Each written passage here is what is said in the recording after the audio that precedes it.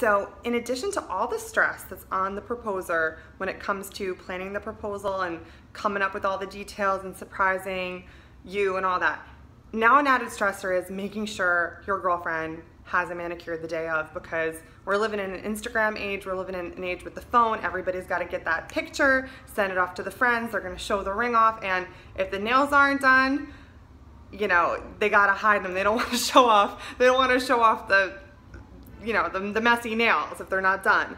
So I totally get that people want to have their nails done for their proposal, but my solution to this is just always have your nails done, okay? Easy peasy. Um, you can get them done, you can do them yourself, you can have a friend do them for you, like make a date and just trade. You, you paint her nails, she paints yours, and they're just done. So let's help out the guys, let's help out the proposers out there, and not have them have an extra stress of having to worry about how you having a manicure. That's the last thing they wanna think about. Um, additionally, when you have to tell someone to go take your partner for a manicure so that the nails are done. So some guys will say, um, I gotta tell her mom to go take her for a manicure this week.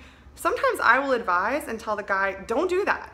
You're gonna ruin the surprise. If you go and tell the mom, tell the mom that she has to go tell her to go get a manicure with her, the surprise is over. She, she knows it's coming now. And I hear it all the time from girls that right after the proposal. When they actually have a nice manicure, if they're not manicure girls who always have them done, um, and they're the type of girl who you know, rarely gets her nails done and now some best friend, sister, mom just said, go get your nails done, she knows. She, she right away says to him, oh, I knew it was coming because, you know, my mom said, let's go get manicures this week. And I was like, she was acting weird the whole time in her seat. And I just knew that it was happening. So it tips you off to the surprise. And I think that, you know, let's keep it romantic. I mean, it's a special thing. I think it's more, a lot more special, a lot, if, if the proposal's a surprise. So um, how about let's help out the proposers out there, take a little stress away from them and just have our nails done. Let's be prepared.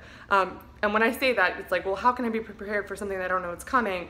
Well, just you have a sense if it's happening in the next couple weeks, months, a year from now, just always have them done. You can do them yourself. They don't take that long. Um, have your nails done and you won't have to be disappointed if the day comes and your nails aren't all done. You can have pretty nails and be surprised. Win-win. Bye.